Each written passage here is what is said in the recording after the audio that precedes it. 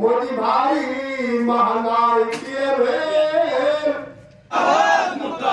झूठा के सरदार नरेंद्र मोदी होश में आओ होश में आओ होश में आओ झूठा के सरदार नरेंद्र मोदी होश में आओ होश में आओ होश में आओ अरे शोभन में एम्स निर्माण क्यों नहीं नरेंद्र मोदी जवाब दो जवाब दो जवाब दो शोभन बलिया में अभी तक एम्स निर्माण क्यों नहीं नरेंद्र मोदी जवाब दो जवाब दो जवाब दो शोभन बलिया में एम्स निर्माण क्यों नहीं गोपाल जी ठाकुर सांसद जवाब दो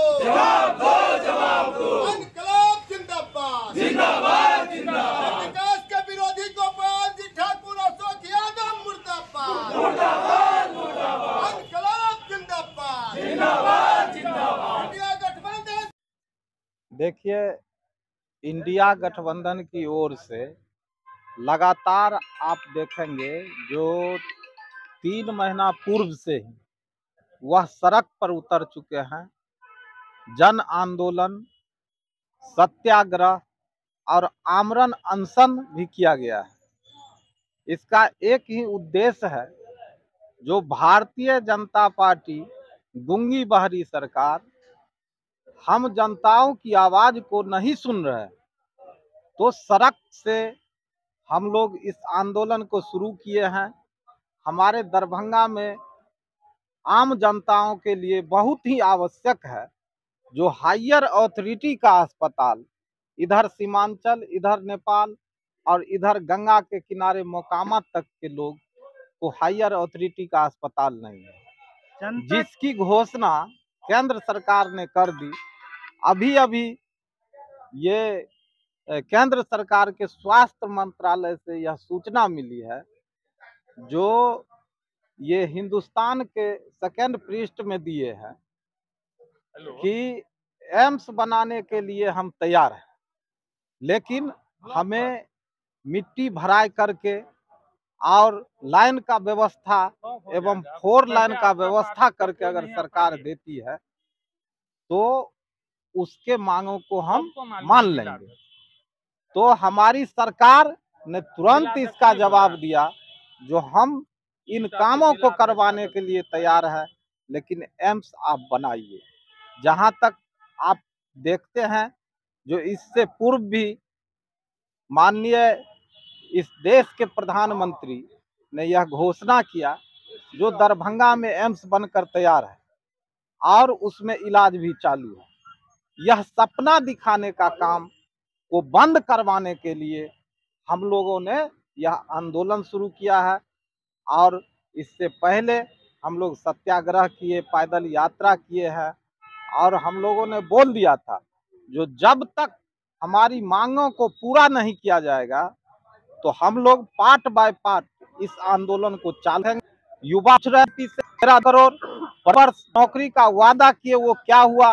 किसान पूछ रहे हैं, जो मेरा आय दुगुना करने की बात बोले थे आप, वह क्या हुआ? हर माताएँ बहने पूछती है, जो 2022 तक आपने बोला, जो हम हर घर को पक्का का मकान बनाकर और उसका चाबी हर एक घर को देने का काम करेंगे, वह पूछ रही है, जो हमारे पक्के का मकान क्या हुआ?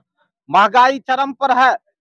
इस देश के संपत्ति को बेचकर और युवाओं को बेरोजगार किया जा रहा है। यह कहाँ का नीति है, इसको हम लोग बर्दाश्त नहीं करेंगे।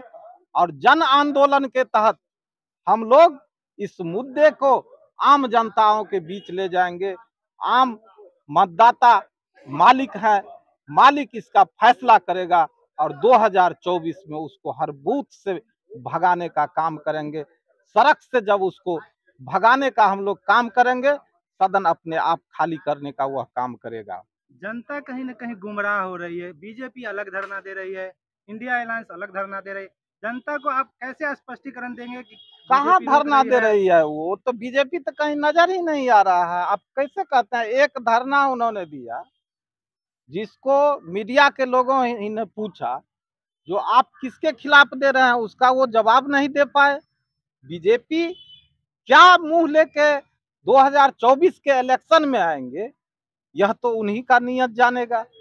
हम तो आपको बोले किसान मजदूर माता बहने युवा छात्र सब उनसे पूछने के लिए तैयार है जो आपने जो वादा किया उसमें से कितने पूरा किए? अभी आप जाले विधानसभा के अंदर में है। यहाँ की जनता को क्या संदेश होगा आपका? यहाँ की जनताओं को मैं संदेश देना चाहता हूँ यह गुंगी बाहरी सरकार आपके बातों को नहीं सुन रहा है इसीलिए हम लोगों ने पैदल यात्रा शुरू किया, जन आंदोलन किया, प्रखंड स्तर पर ये धरना दे रहे हैं और उन्हीं माताओं, बहनों, युवा साथी, बड़े बुज़ुर्गों को बताने का काम कर रहे हैं, जो केंद्र सरकार ने आपके प्रति क्या आस्था रखता है। बैठ के रैया कनखी मारे, बैठ के रैया